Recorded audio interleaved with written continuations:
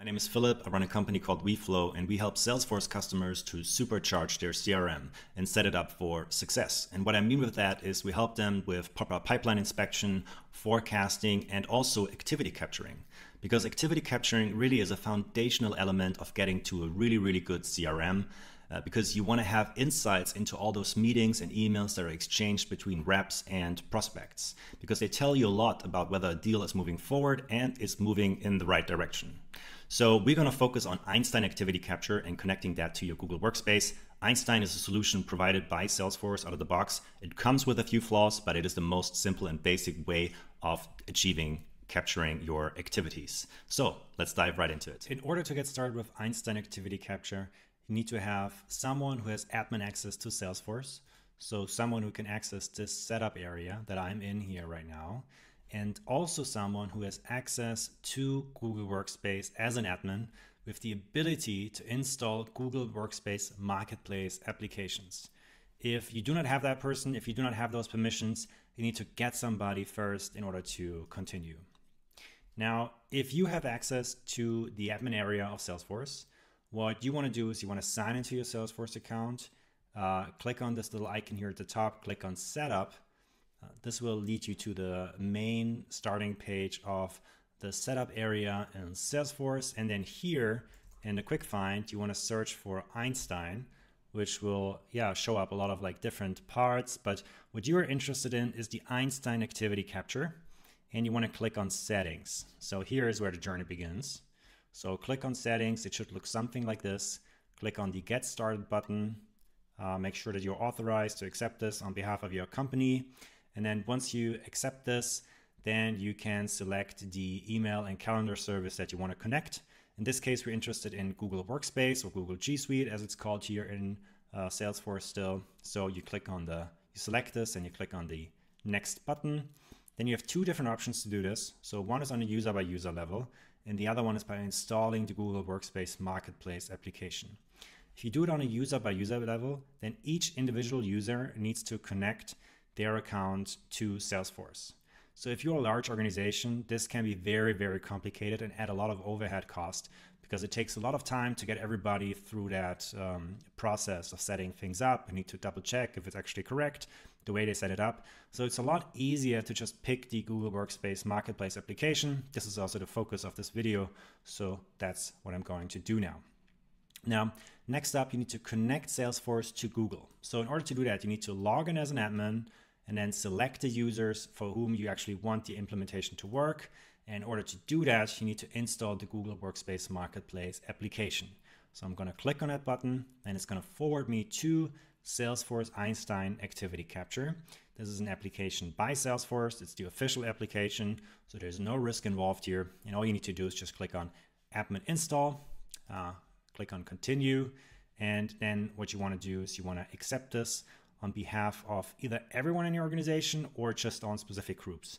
I'm going to pick everyone in the organization because that's just the easiest and fastest way to do it. And uh, you can still fine tune and select who actually should have um, uh, this working and have enabled. So uh, even if you select everyone in your organization, it will not automatically be enabled for everyone in your organization. You still need to pick the individual people. So I'm going to click on finish. It's going to take a few seconds. And voila, that's it. It's done. It's installed and I can always access it up from here. Yeah, so by clicking on this icon here at the top, you can scroll down, you can go here, and this will forward you to um, basically the admin section of Salesforce. Okay, now I installed the app. I've done this. So now I can go back to Salesforce and I can click on the next button. Now I can give this whole thing a name. I'm just going to call it Google Workspace EAC. EAC standing for Einstein Activity Capture. And I'm going to hit the next button. And now you have some options to actually say when and what you want to be want to have synced. Now, in my case, I'm interested in emails and events. I'm not so interested in contacts. I don't want Salesforce to automatically create contacts for me. That's quite risky. So I want that to be disabled. But if you wanted to have enabled, you can absolutely have that. I generally recommend not to do it. And also for the events, I only want them to go from the Google Suite to Salesforce because otherwise, um, any event that is created in Salesforce will also be forwarded to Google. So if I create manual events in Salesforce to sort of like maybe um, ad, hoc, ad hoc log a meeting uh, manually, it will create an event in the Google Suite.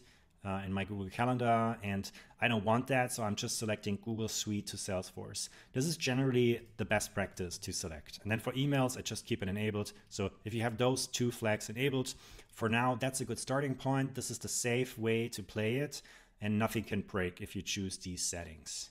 Now hit the next button.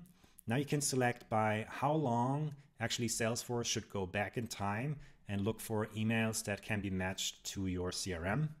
Um, 180 days, I think, is plenty for most. Um, if you are a large organization, then of course a longer time frame would be nice. Uh, Salesforce doesn't offer that.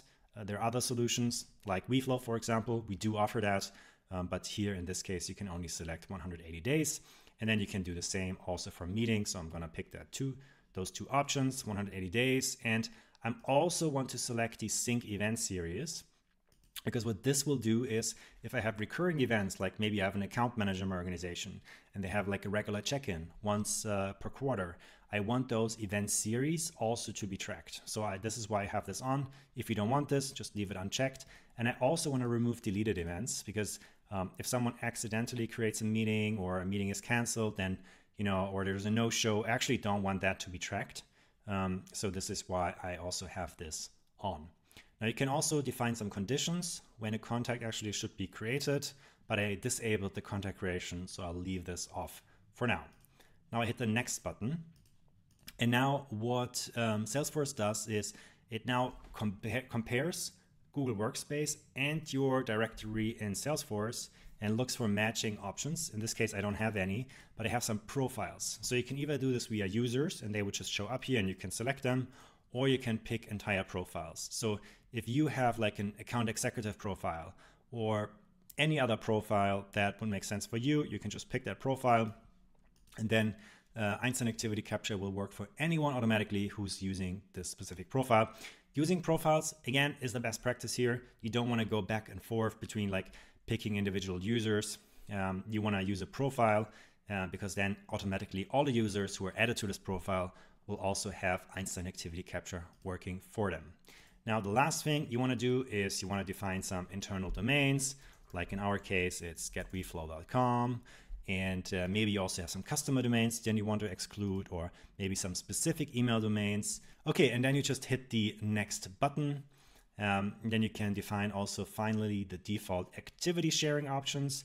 So whether others should see it or not. Personally, I think others should see it. This is useful information. You want that to be shared in your organization. So unless it's confidential in some sort, um, it's better to share it than not to share it. And then uh, once you've done that, you're done. You can click on the finish button. And now Einstein Activity Capture will start working for your Salesforce account. Okay, and now we're back in the settings and you can always go back to your configuration by going here in configurations, clicking edit, and then you can manage the different profiles that you want to add and remove. Uh, you can go back to the advanced settings, so looking at sort of like the time uh, sync back, as well as uh, enabling or disabling these specific options. Like mentioned earlier, you can always go back and enable contact syncing. You can change the uh, sync here in the different directions, and you can also delete the entire configuration.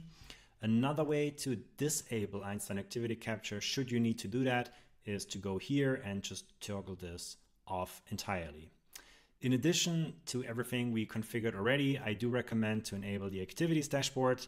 Um, so the way that Einstein activity logging works is those activities are actually not properly stored in your Einstein account. You need to enable specific reporting um, via this activities dashboard. Otherwise, you will not be able to report on Einstein activities or activities captured via Einstein. So make sure to uh, toggle this on. Um, by default. Now, if you want to use Einstein Activity Capture not on a pro profile basis, but actually on a user by user basis, then you need to assign permission sets to these users. In order to do that, uh, in QuickFind, search for permission sets. Click here on permission sets. This will load uh, this list here. And now be careful, there's two different types of Einstein activity capturing. This one, this is the wrong one because this is for an integration user. we want to actually use the one that's typically on the second page, and it's called the Standard Einstein Activity Capture Permission Set. Now click on that, then click on Manage Assignments, and then here click on Add Assignment at the top, and select the users uh, you want to use Einstein Activity Capture. Click on Next. Uh, you can set expiration dates if you like, and then finally click on Assign.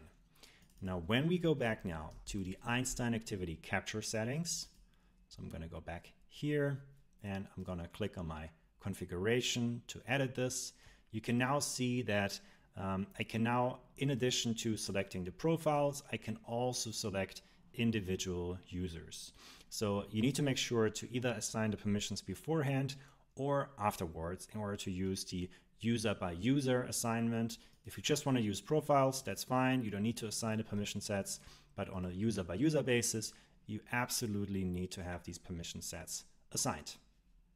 Now, I want to throw in a little caveat here, and that is that even though Einstein Activity Capture is not bad per se, it is not the most powerful solution out there. In fact, there is a whole lot of things that Einstein does not do. For example, you cannot do standard reporting.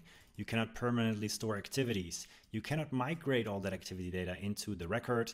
You don't have them actually stored in Salesforce, but in some random S3 bucket that you do not have access to. And this is also why you cannot report on it.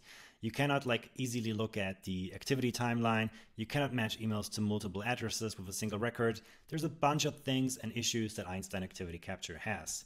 And we're not the only ones who are saying that. You have just have to search for Einstein Activity Capture and you quickly stumble upon a lot of these threads around reporting issues, basically Einstein Activity Capturing just stopping to work, uh, having issues with manual logging because that's suddenly not possible anymore as soon as you activate Einstein. And also just a lot of problems that when you deactivate Einstein, suddenly all those emails that were logged in the past, they're gone forever. So there are a lot of problems with Einstein, and this is also why there are providers like WeFlow who solve that problem in a better way. So I encourage you to check out getweflow.com. Uh, you can run a free trial with us, take it for just a little test drive and see how it does. We are very confident in our solution and we want you to take control of your Salesforce activity data.